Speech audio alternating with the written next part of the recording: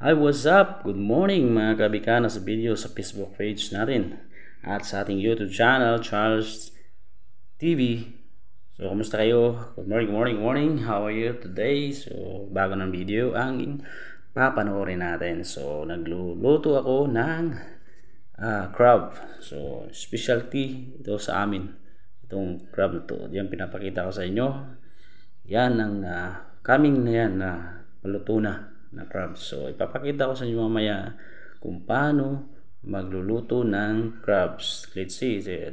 Pero, ang una niyan, syempre, yan, bawang. Bawang yung dapat yung una. Kasi, kailangan mo na siyang gisayin para masarap, ma malapot. Ano, uh, ganyan talaga magluto ng uh, pagginisa mo. Uh, gigisayin natin dahil magluluto tayo ngayon ng ginataang crab. So tinatawag namin sa amin yan na lambay. So sa English syempre from noun sa lahat crab. So yan bombay. Tsaka uh, hinalo-halo hahaluin yan mamaya. Lalagyan ng uh, luya. So yan napakasimple. Yan ang uh, yan may luya may kamatis. At yan yung crab natin fresh na fresh galing sa laot. So yan minimix na yung uh, uh, kamatis, luya, bombay, tsaka bawang. Yan ang simple recipe pag kayo ay nagluto ng ginataang crab. Gigisahin nyo muna sa maraming lamas. Yan. Dahil pag ganyan kayo magluto maraming lamas sigurado masarap ang labas So yan, panoorin nyo ang video nito hanggang matapos para at least man lang kahit sa simpleng luto matuto kayo. Sa mga hindi pa marunong magluto dyan, panoorin nyo itong video na to. Napakasimple lang. At anong mga recipe ang ginagawa at sinasali natin. So yan yung crab, sinasali na. So yan, uh, napakarami yan. Isang, isang ano, isang uh, kawa sa amin, tinatawag namin kawa. So yan. Pero kung bago ka pa lang napadpad sa aking uh, YouTube channel o di kaya sa Facebook page, please paki-follow. And if you like, share this video. Salamat sa mga followers ko sa Facebook page.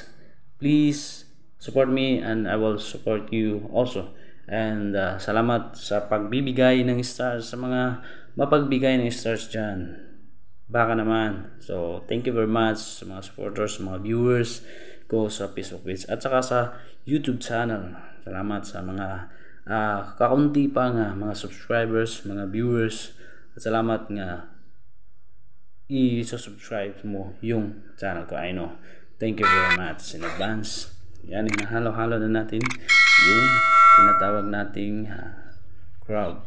Yan. I-mix yan para mahalo yung ano, uh, ma-mix yung haluin para ma-mix yung uh, lamas at saka crab. So yan, nalagyan na natin ng mga lamas at crab. So mamaya, lalagyan natin yan ng what up next? Lalagyan natin ng suka. So mamaya suka ang ilalagay natin yan. Makikita nyo mamaya yan haluin haluin ng maayos. Yan, suka. Ah, patis nga pala patis, sorry. Patis yung nauna. Pagkatapos ng patis, lalagyan natin ng suka. Dahil mix yan eh. Uh, magiging balance yung timpla tsaka sarap. Pag yan ang nagkasama.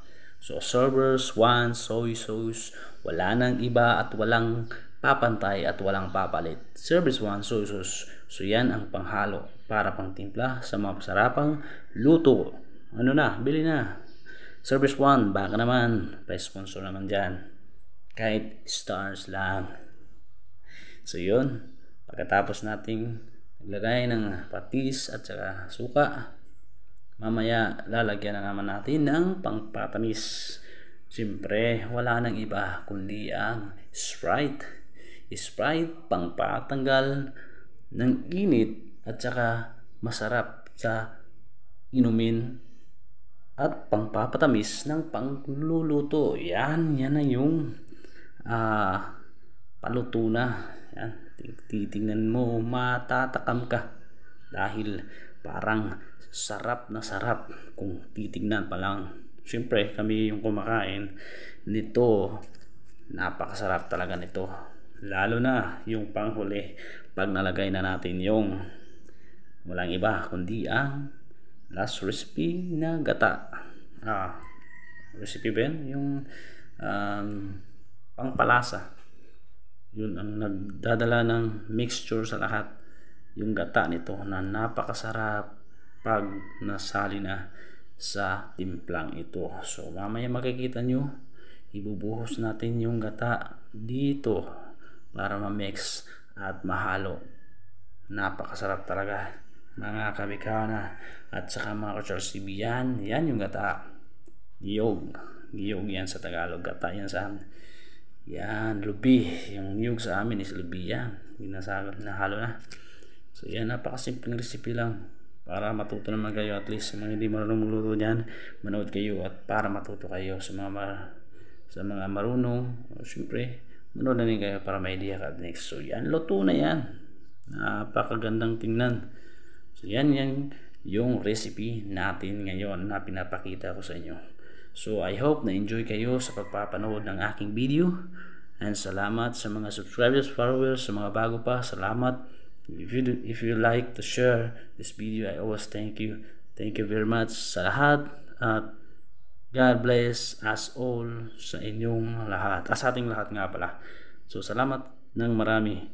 Uh, di ko magwawalang sawa na magpapasalamat sa mga nagsuporta at susuporta pa at sa mga nag-like, nag-comment please welcome to comment here sa ating YouTube channel at Facebook page thank you very much uh, guys Thank you, thank you, thank you. May God bless you and see you on my next video. Babu. Mwah. Ah, may kalamay ka pa. May kalamay pa pala. Hindi ko na makalimutan. Para pa-texture talaga sa lasa. At ano kasi to Sweet. Medyo sweet and spicy. Yan. Sweet and sour pala. Sweet and sour. Yan. Thank you very much. Babu. Mwah.